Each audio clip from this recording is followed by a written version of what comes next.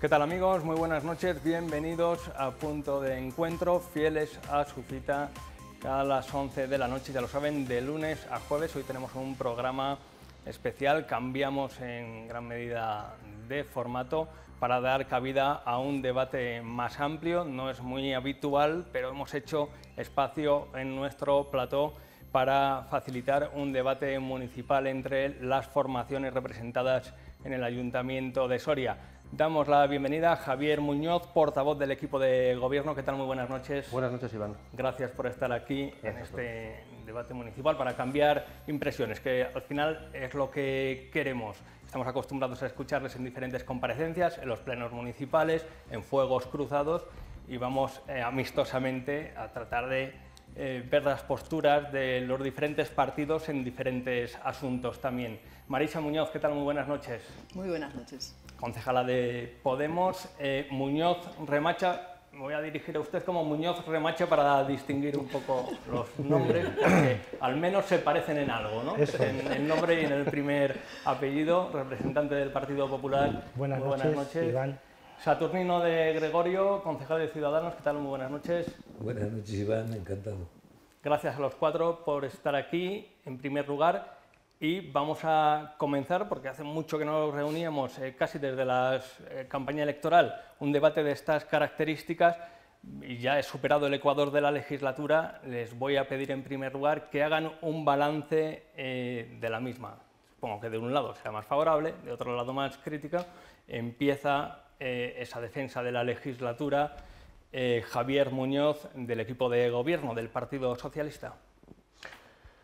Bueno, pues yo creo que lo, primero que cabe decir ¿no? en, esta, en este análisis de lo que llevamos de, legislatura es que es una legislatura que evidentemente no solo en Soria, no solo en el Ayuntamiento de Soria viene marcada por una pandemia, ¿no? por una pandemia, una crisis sanitaria eh, que no habíamos vivido en, los últimos, en, el último siglo, que ha derivado como yo, eh, una crisis eh, social y una crisis económica de la que bueno, pues, eh, nos estamos ahora mismo recuperando. Pero aún así, eh, yo creo que, este ayuntamiento, que este equipo de gobierno, en, esos deberes con los que nosotros fuimos a las elecciones de mayo del año 2019, pues bueno, pues ha cumplido, desde luego, en estos dos primeros años más, que con, más que con creces. ¿no?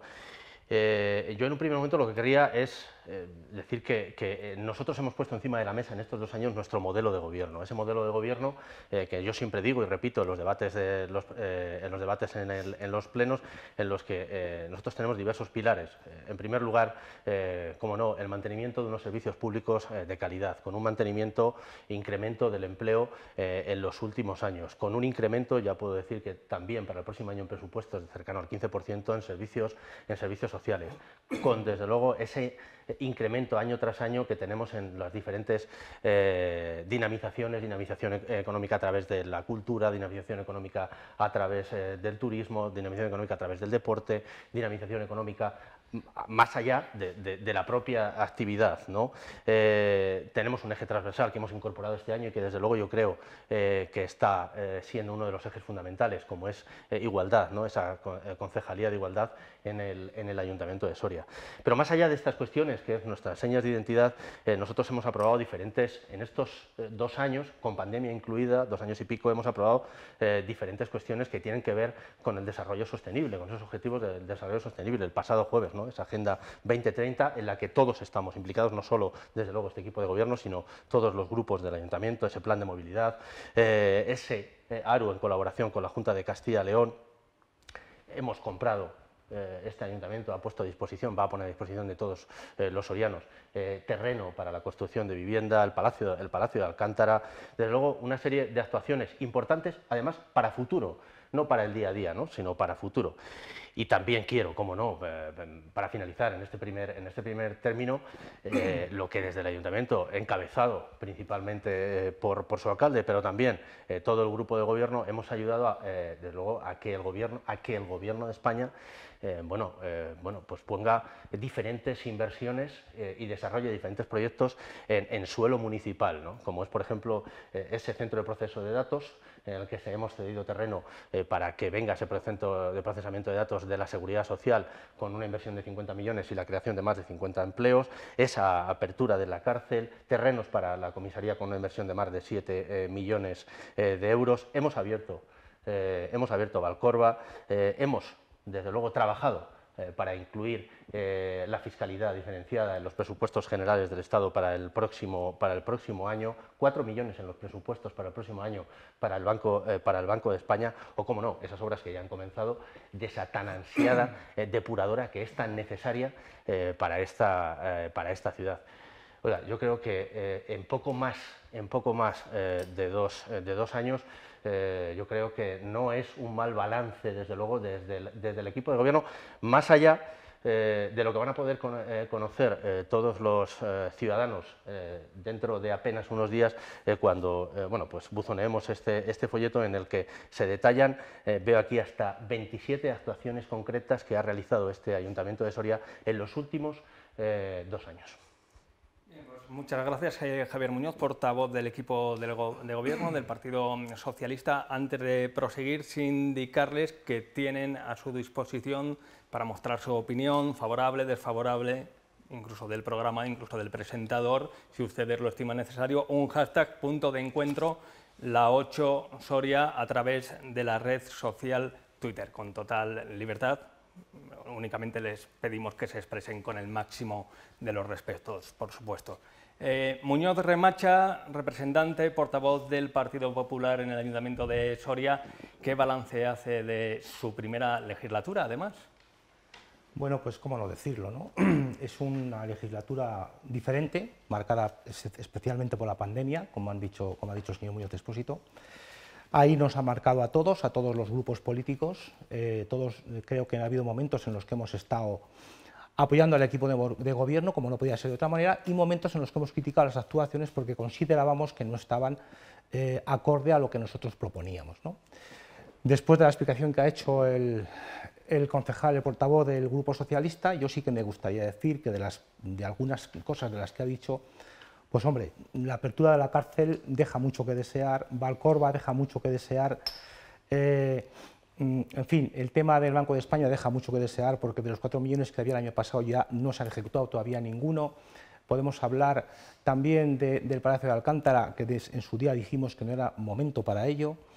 Eh, en fin, no estamos de acuerdo en, la mayor parte de la gestión que está haciendo el equipo de gobierno, pero no por, el no porque sí, sino porque consideramos que hay otra forma de gestionar, hay otro proyecto de ciudad y eh, sin olvidar la presión fiscal que están teniendo ahora mismo los sorianos, ¿no? presión fiscal por parte de, las circunstancias y de la crisis post-pandemia, ¿no? o sea, la subida de la cesta de la compra, la subida de los combustibles, ahora va a haber una subida de impuestos, en fin, entonces yo creo que, deberíamos de ser un poco más más laxos en el tema de la presión fiscal. Aquí se ha subido el IBI un 2,5, el impuesto de vehículos, y desde nuestro punto de vista esa gestión no es correcta ni es merecedora de que los sorianos tengan que, pagarla. Eh, muchas gracias, eh, Muñoz Remacha. Pues como pueden ver, son opiniones también que les vamos trasladando eh, muy propias y les sonarán de las diferentes intervenciones que vienen realizando en convocatorias de prensa, en plenos municipales, los diferentes partidos. Esto casi es un compendio. Eh, Saturnino de Gregorio, concejal de Ciudadanos, adelante. Su balance de legislatura. Pues el balance de Ciudadanos de esta legislatura, eh, como no puede ser de otra forma, es negativo. Y es negativo por, por muchos motivos. Es negativo desde el punto de vista fiscal por la presión fiscal, que bien decía eh, el señor Muñoz Remacha, pero es negativo de, otros puntos de vista. Ha hablado el señor Muñoz Expósito de servicios públicos de calidad. Yo no sé a qué se refiere con los servicios públicos de calidad. Se referirá usted, supongo, al servicio de basuras con cinco años vencido. Se referirá usted al servicio de parques y jardines con cinco años vencido. Se referirá usted al servicio de contratación de limpiezas que también creo que están vencidos el contrato y las prórrogas. Eh, una dejadez tremenda con unos servicios que no es que no sean de calidad, es que dejan de ser de todo tipo de calidad. Habló usted de la Agenda 2030, bien, sí me parece muy bien, y todos hemos apoyado la Agenda 2030. Y eh, para apoyar esa Agenda 2030, en vez de tener unos servicios de basura de calidad, tenemos unos camiones contaminantes, unos vehículos obsoletos y un servicio deficitario, pero con los mismos precios, incluso con más precios. Y ya se lo dije a usted, incluso con calles de tercera, donde hay chales de un millón de euros pagando el triple, o sea, un tercio de calles de primera donde hay pisitos de 60 metros con ascensor que pagan el triple. Esto es una igualdad y esto es unos servicios de calidad. Habla usted de incremento de los servicios sociales, evidentemente que hay incremento de los servicios sociales y ahí vamos a estar junto con usted.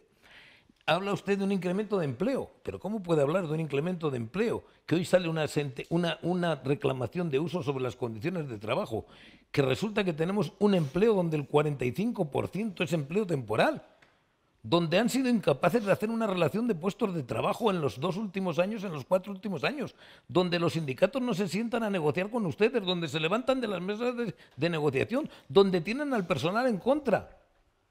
¿Cómo pueden de verdad hablar de un empleo de calidad municipal? No sé, eh, usted me lo dirá, ya me lo dirá después. La temporalidad, eh, en contra todos los sindicatos, se levantan de la de las mesas de negociación, se levantan de la comisión paritaria. Eh, en cuanto a urbanismo, en cuanto a urbanismo, en urbanismo no me hable, por favor, no me hable. ese capítulo lo, abriremos después, si le parece Saturnino de Gregorio, por no alargar demasiado las intervenciones, habrá un capítulo, un apéndice dedicado eh, al urbanismo, a la peatonalización, a la situación de la ciudad, algo que además yo creo que es muy comentado porque salta más o menos a la vista de todos los ciudadanos y es verdad que lo que está a los ojos de todos pues es también lo más eh, comentado. Eh, después, Saturnino de Gregorio, si le parece, abrimos ese apéndice de urbanismo. Eh, Marisa Muñoz, de Podemos, su balance de legislatura. Gracias, Iván. Bueno, mm, ya se está viendo cómo el debate se desarrolla, es bastante previsible. Eh, quienes gobiernan en el ayuntamiento hacen una enumeración, casi yo diría que una especie de catarata de, iniciativas, que no se pueden decir que no sean ciertas, porque claro, la cuestión es eh, que hay muchas de las cosas que sí que están en marcha o deberían estar en marcha o vienen estando en marcha a lo largo de los años.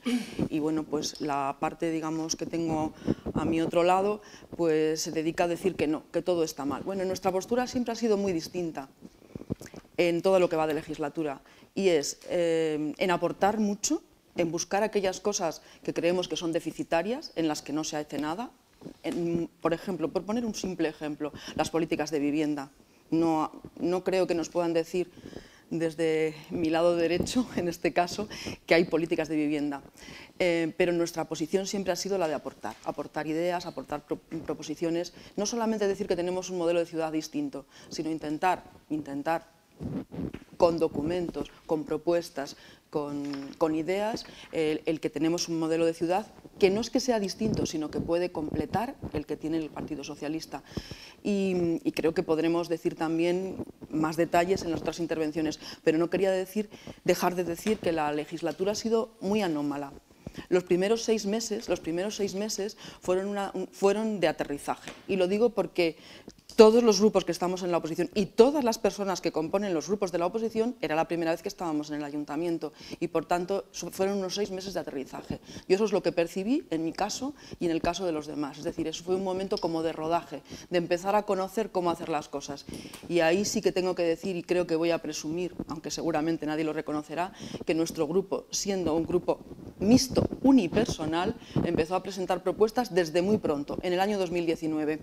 Después vino lo que Y ahí viene otra etapa en el ayuntamiento, una etapa en la que yo lo que sí que tengo que decir, ya lo he dicho alguna vez en este medio, es que todos los grupos de la oposición estuvimos ahí, cada vez que teníamos que decidir cosas no hubo nunca, nunca una mala palabra, un mal gesto y siempre un sí en juntas de portavoces, en comisiones, en todo, porque enseguida reanudamos la actividad, aunque fuera de forma telemática.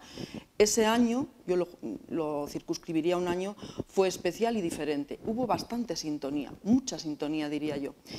Y, luego ya, en lo que va de este año, las cosas han cambiado. Digamos que los otros grupos de la oposición se han puesto un poco las pilas, entiéndase en el lenguaje coloquial, y, pretenden conseguir su protagonismo. Esto es normal, es natural, debe ser así. Pero como yo lo veo siempre, intento ver las cosas desde una casi con una cierta lejanía, porque eso te da otra visión. Entonces es comprender cuál es la posición del grupo de gobierno, es comprender cuál es la posición de los grupos de la oposición y siendo oposición, siendo oposición, intentar no ser tan previsible. Y esto creo que lo podremos explicar en los otros bloques. Marisa Muñoz, pues casi, casi, eh, y no tanto en lo político, pero casi representa esa opción más centrada, más de centro, y ya digo que no en lo político, porque obviamente es concejala de Podemos Soria, pero aplaudimos también su intervención. Eh, Javier Muñoz, portavoz del equipo de gobierno, portavoz del Grupo Socialista, creo que le han puesto deberes y tiene derecho a, un amplio turno de réplica. Lo decía la, señora Muñoz, ¿no? y tiene toda la razón, en esas cataratas de, iniciativas. Yo antes, en, ese primer bloque, he, hecho, he incidido en un poco, eh, bueno, las grandes líneas, los grandes ejes más allá de esa pandemia. Estoy totalmente de acuerdo con las palabras de Marisa en lo que eh, tuvimos que actuar el pasado año. Pero miren, eh, les diré, ¿no? es que en esas 27 actuaciones les voy a citar algunas, porque no voy a citar las 27, pero oiga, primera fase de la rehabilitación de la muralla, segunda fase de la rehabilitación de la muralla, eh, Ronda del Duero fase 2, rehabilitación de Santa Clara, Ronda del Duero fase 3, nuevas aceras a la calle Santa Tomé, nueva plaza de las Concepciones, sustitución de iluminación casco viejo del LED, pavimentación en torno del Palacio de los Condes de Gómara, recreación del cementerio templario, Museo Leonor en el, cementerio Leonor, peatonalización del entorno Santo Domingo, nuevo espacio Alameda, nuevo espacio Gaya Nuño, eh, y espacio feminista Concha de Marco, entorno de los arcos de San Juan de Duero, actuación en el entorno de las ruinas de San Nicolás y calle Postas, nuevos despachos de los clubes deportivos en el Polideportivo San Andrés, nueva cancha en el Polideportivo de la Juventud, adquisición y remodelación del Palacio de Alcántara puedo seguir. Claro, si a alguien le parece esto poco para, una, eh, para un año, dos años y medio, con una pandemia de por medio, pues hombre, habría que, habría que mirarse en los demás. Fíjese, ayer, señor, eh, eh, señor Juárez, para contestar un poco a la oposición, ¿no? sobre todo al señor Muñoz Remacha y al señor Saturnino de Gregorio. Ayer el, el, presidente del gobierno yo creo que dio, me gustó una frase que dijo, que, que, desde luego el PP gobierna muy bien en la oposición y la hago extensiva a Ciudadanos. ¿no? El PP gobierna muy bien en la oposición. ¿Por qué digo esto?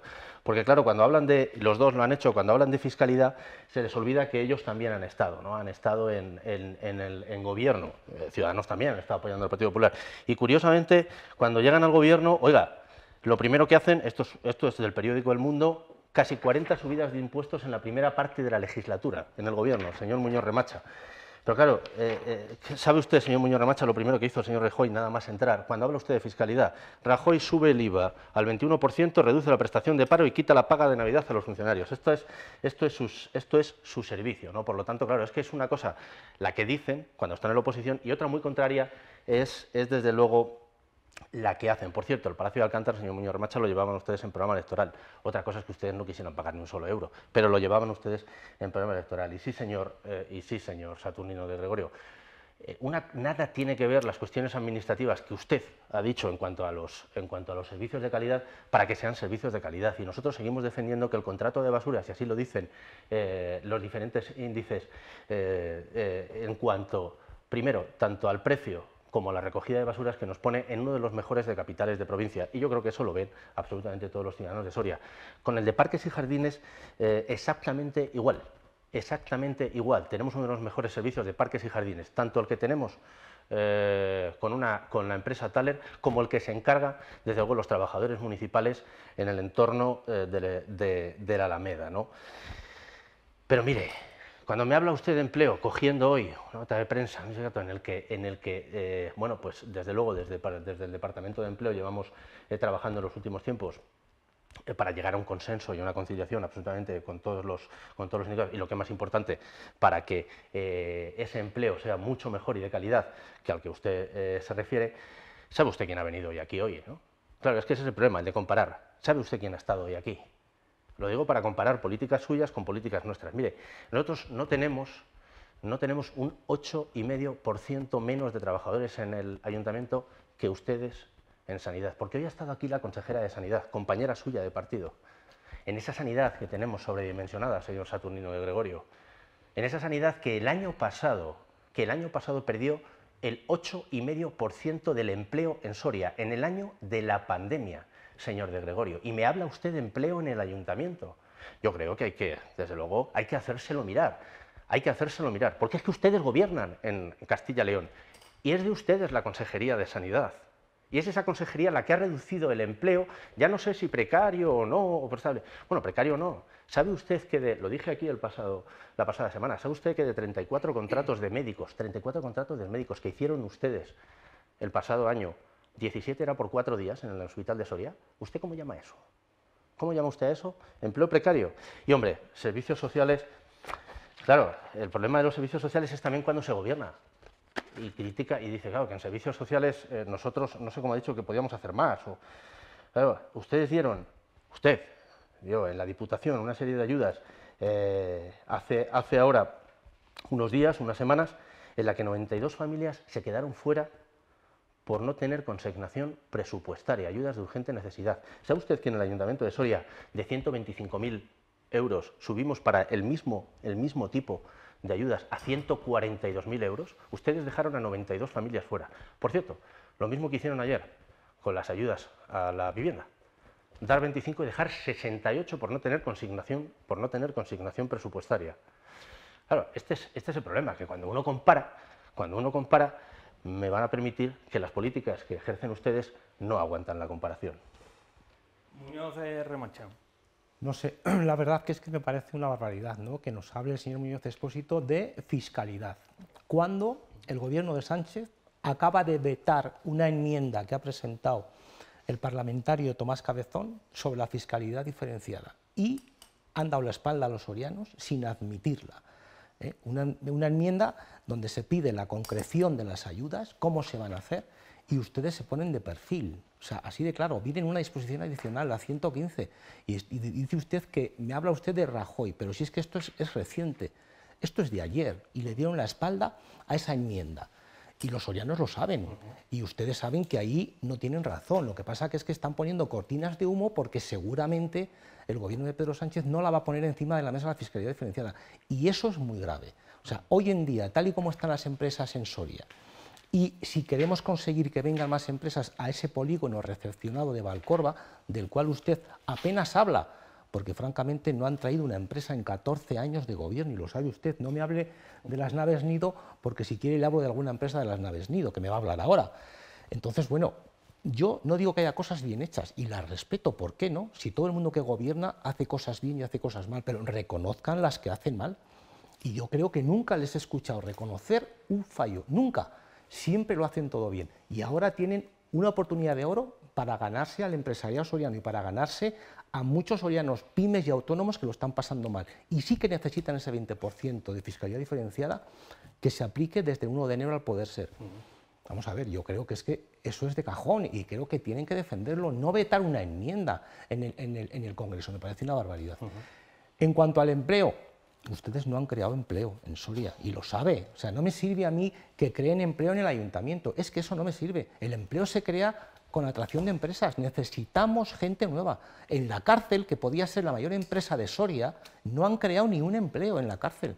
Dicen que la han abierto, pero si no han hecho el traslado todavía, si van a abrir dos módulos con los mismos funcionarios y, los y la misma gente que hay y podía ser la empresa mayor de Soria. Todos añoramos y esperamos, ¿no? Es decir, esos 300 funcionarios que iban a venir. De eso nada, de nada.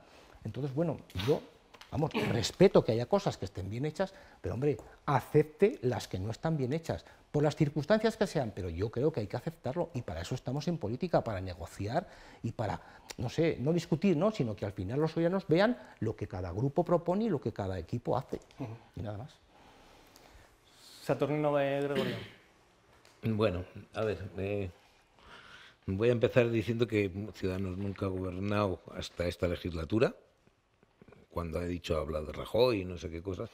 Y luego lo, más importante, vamos a ver, yo sabía que usted iba a derivar el, debate hacia la Junta. Gobernaron con Rajoy, ¿no?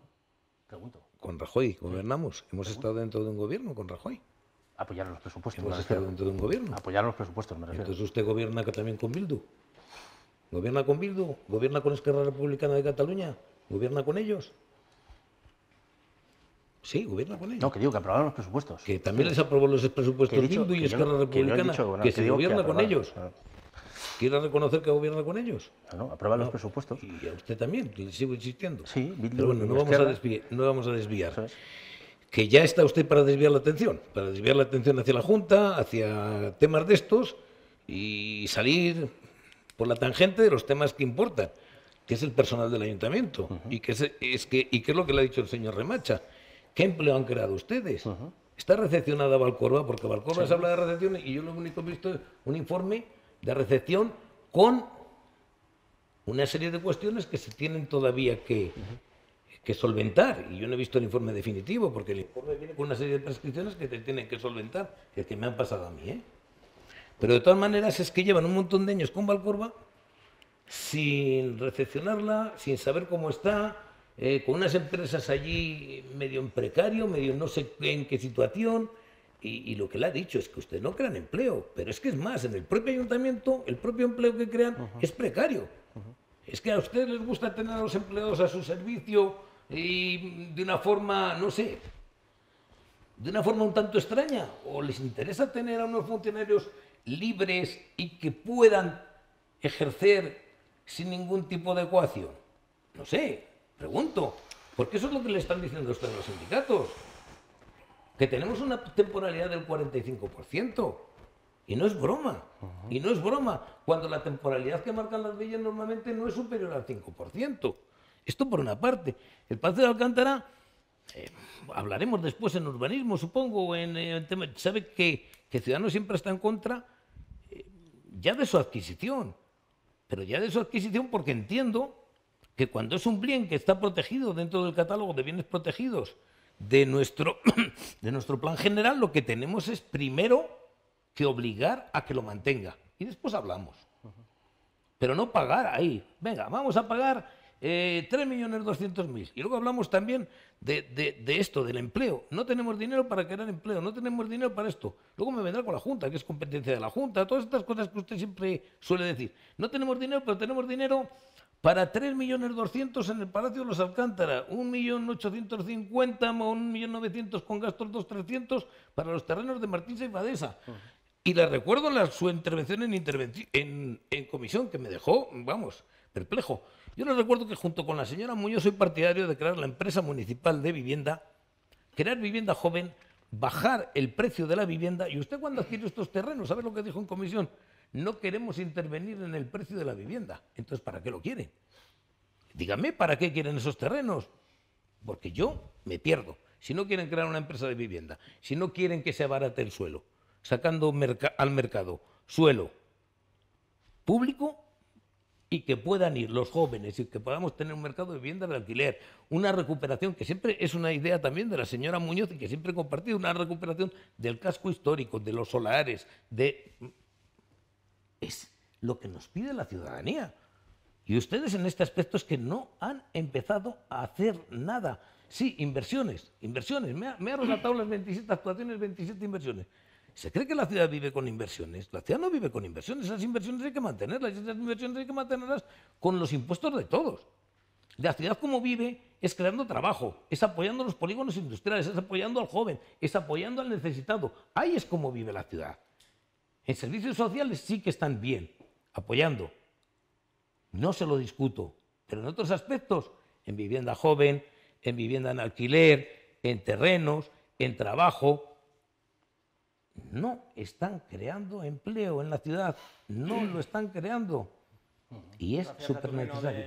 Gregorio, eh, turno para Marisa Muñoz de Podemos Soria, que espera además pacientemente su turno, y después haremos un turno de réplica con Javier Muñoz antes de ir a publicidad y abordar otros asuntos. Adelante, Marisa Muñoz. Bueno, menos mal, que me parece que al final hemos vuelto a lo que es el debate sobre temas municipales, porque se nos olvida a menudo mezclando siempre lo que hacen unos en un sitio, lo que hacen otros en otro sitio, lo que dejan de hacer unos en un sitio, lo que dejan de hacer otros y lo que se hizo en el pasado, por supuesto, porque hay un pasado y según se ha dicho muchas veces los grandes partidos tienen mochilas, pues se nos olvida que estamos en un debate sobre políticas municipales. Menos mal que parece que ahora el señor de Gregorio intentaba tocar los temas. Y además es que tengo la sensación de que el mezclando los tantos como lo estamos mezclando, pues creo que la ciudadanía que nos esté escuchando se va a aburrir por un lado, va a desconectar y además va a decir, pues ya están como siempre, pero no.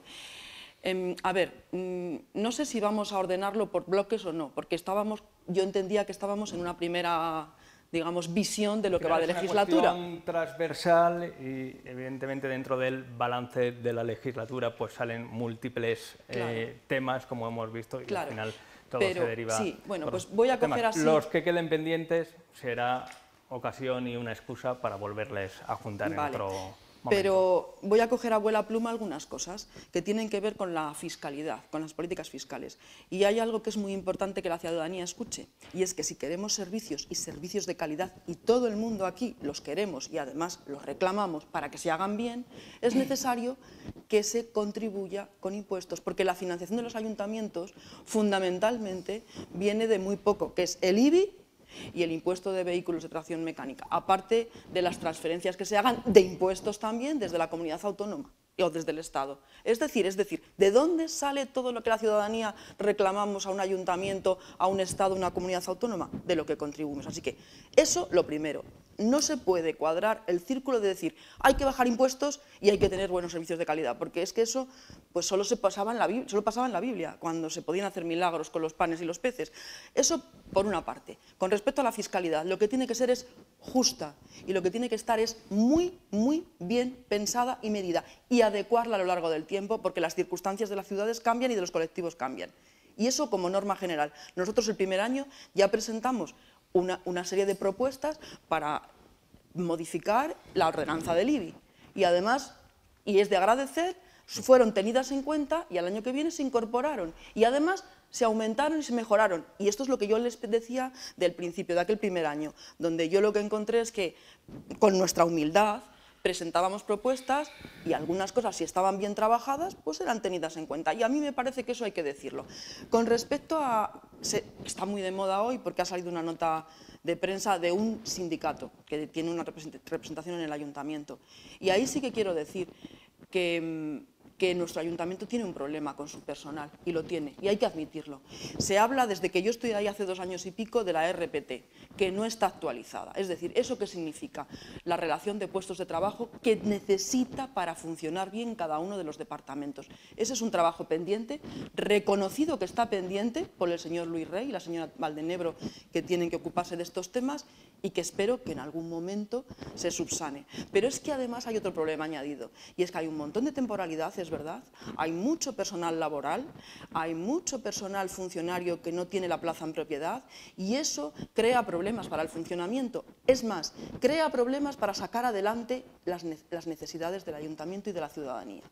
Crea problemas, por ejemplo, para tirar para adelante del pliego para licitar el contrato de recogida de basuras y de limpieza urbana crea problemas, porque cuando tenemos plantillas justas, cuando tenemos muchas rotaciones, sobre todo en algunos departamentos, cuando se suceden bajas, cuando suceden jubilaciones, pasa como en todas las administraciones, que nos vemos, me van a perdonar la expresión, es muy fea, ¿eh? y yo no suelo decirlas, pero la voy a decir esta vez, porque creo que el lenguaje colocal se entiende muy bien, nos vemos con el culo al aire. Entonces, yo creo que eso hay que, hay que resolverlo. Hay que resolverlo y no enfrentándonos, hay que resolvernos, resolverlo sumando. Eso sobre el tema del personal. Eh, seguro que aparecerán más cosas. Se habla mucho, yo lo oigo mucho. Qué lástima, es que es el lado izquierdo. Es mi lado izquierdo, ya lo siento, señor Muñoz Remacho, señor de Gregorio. Pero se habla mucho de la atracción de empresas. Y yo me pregunto, yo me pregunto, ¿eso cómo se hace? Porque lo único que se puede hacer para atraer empresas es establecer condiciones favorables para que empresarias y empresarios encuentren en Soria un lugar atractivo. Y eso no se hace diciéndolo, se hace con muchas cosas. Y es trabajo de todas las administraciones, de quienes tienen competencias y de quienes no las tienen, pero pueden apoyar, como en el caso de un ayuntamiento. Es trabajo del Estado, podríamos hablar de la fiscalidad diferenciada mucho y largo y tendido, que es un tema muy controvertido, por cierto, pero también podríamos hablar no solo de tener polígonos industriales, y algunos vacíos, algunos vacíos, y en el alfoz de la ciudad, véase el de Carbonera, un polígono totalmente desaprovechado. Y ahí está, o sea, falta de, de suelo para polígonos no hay en esta provincia. El problema es que traer empresas no es tan fácil y requiere muchas actuaciones y requiere colaboración. Y no requiere tanto tirarnos los trastos. De cuando estamos aquí y cuando estamos allá, y yo hago y ustedes no hacen. No, vamos a hacer todos, porque el país y la ciudadanía de Soria nos lo reclama. Entonces, bueno, esto es así a vuela pluma, porque como no traigo apuntes, pues luego lo que se me ocurre en cada turno. Marisa Muñoz recientemente estuvo aquí en el plato de la 8 Soria eh, y mostró más o menos su intención de tal vez eh, dejar paso a las nuevas generaciones. Yo la verdad que escuchándola esta noche le invitaría tal vez a a continuar por sus propuestas y su modo de explicarles. No hay público si no le daríamos un aplauso. Javier Muñoz, eh, antes de irnos a publicidad, réplica, turno de réplica ante lo que ha estado escuchado pacientemente. Yo le, decía, le diría a Marisa que por permíteme la broma, que si las nuevas generaciones son las del PP, no, hombre, que se quede, que se quede, que se quede ya. No, eh, lo ha dicho Marisa al final, que exige de la colaboración de todas las administraciones, justo un poco lo contrario que decía al principio, que hablemos de política municipal, pero es que la política municipal, eh, Marisa, tiene que exigir de la colaboración de las demás eh, administraciones. ¿Por qué lo digo? Porque claro, cuando se nos achaca al Ayuntamiento de Soria, y lo han hecho por parte eh, tanto del señor Muñoz Remacha como del Saturnino de Gregorio, en cuanto al suelo industrial, se les olvida dos cuestiones básicas. Una, este ayuntamiento firmó un convenio con la Junta de Castilla y León en el año 2005. Es que es así, Marisa. En el año 2005 para, para desarrollar suelo industrial por 30 más de 35 millones de euros. No hemos visto ni un solo euro. No hay un solo metro cuadrado. Y usted lo ha dicho. Y en el Alfoz, y en el Alfoz se llegaron a meter más de 100 millones de euros que están enterraditos. Enterraditos. Eso es gran parte de esa culpa. Pero oiga, cuando me dicen que no se crea empleo, a mí me parece curiosísimo. O sea, resulta que es que los datos, por mucho que ustedes digan, señor Saturnino Gregorio y el señor Javier Muñoz Remacha, los datos que van en contra de ustedes. No se crea empleo en Soria. Y curiosamente este mes, este mes, tenemos el máximo histórico de afiliación. El máximo histórico de afiliación, 40.680 personas. 40.680. El máximo histórico. Nunca se había creado eh, más empleo en esta. Hombre, algo tendrá que ver el ayuntamiento. Digo yo. ¿O no? ¿O no tiene nada que ver el ayuntamiento? No, ¿verdad? Pues fíjese, le voy a dar otro dato que el señor, que el señor Muñoz Remacha ha preguntado antes. La cárcel.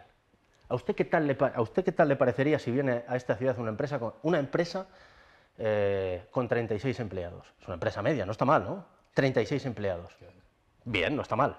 Gracias a la colaboración entre este, entre este ayuntamiento en terminar la cárcel, cosa que ustedes no fueron capaces, se dejaron caducar los expedientes para el colector, lo recuerda, se dejaron caducar los expedientes durante siete años para el colector. Gracias a esas gestiones con el gobierno de España hay 36 policías nuevos para la cárcel.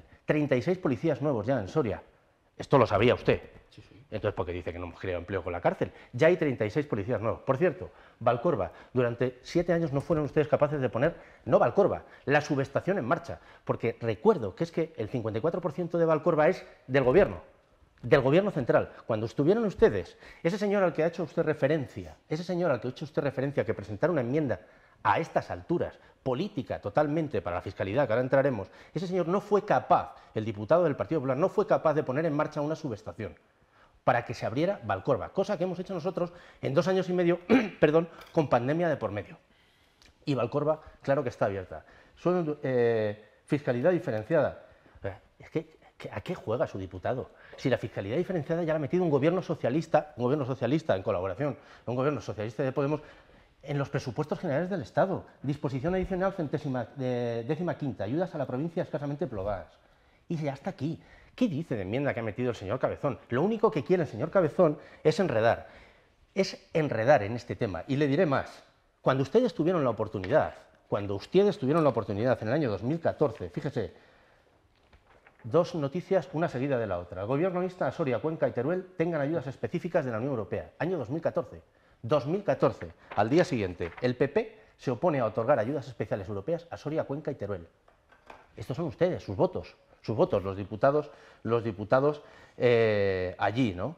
Hombre, y evidentemente, claro, claro que nosotros apoyamos a la industria, apoyamos la creación de empleo dentro de, dentro de lo que son nuestras eh, posibilidades, a través de nuestra estrategia Emprende, con el semillero de empresas, con las naves, eh, con las naves Nido, ahora mismo con el eh, centro de trabajo colaborativo evidentemente, claro que nosotros apoyamos a esos empresarios durante el, durante el, pasado año, al mantenimiento de esas pequeñas y medianas empresas con ese fondo COVID con el que eh, nos pusimos eh, todos, todos de acuerdo y con ese incremento en ayudas a través de Iberaval a las empresas de Soria que sumamos de 80.000 euros con el que partíamos las ayudas de Iberaval a 320.000. Señor Gregorio, se lo tengo que decir, nos hubiera gustado que esto del fondo COVID, pues claro, gracias a usted, los empresarios sorianos no tuvieron la oportunidad de, poderlo tener de la Diputación, porque aquí hay una cosa, y es un hecho constatable, esto lo saben todos, es decir, Almazán tuvo ayudas del Ayuntamiento y ayudas de Diputación, el Burgo de Osma tuvo ayudas del Ayuntamiento y ayudas de Diputación, Soria, por obra y gracia de usted, solo tuvo del Ayuntamiento, y de Diputación nos quedamos a dos velas, nosotros no, los empresarios. Bien, pues la réplica de Javier Muñoz, vamos a hacer un alto en el camino, se han abordado muchos temas, Cierto es que teníamos un guion temático, como antes también ha apuntado eh, Marisa Muñoz, pero al final eh, todo de alguna manera eh, se enreda, son temas transversales. Cierto es que hay que evitar en la, mayoría, en la medida de lo posible evitar la mención a otras administraciones, porque estamos haciendo política municipal, pero también, como se ha puesto de manifiesto sobre la mesa, la política municipal también depende de las decisiones de otras administraciones, así que todo es comprensible. Vamos a hacer un alto en el camino, pausa para la publicidad y enseguida estamos de vuelta en este debate a cuatro.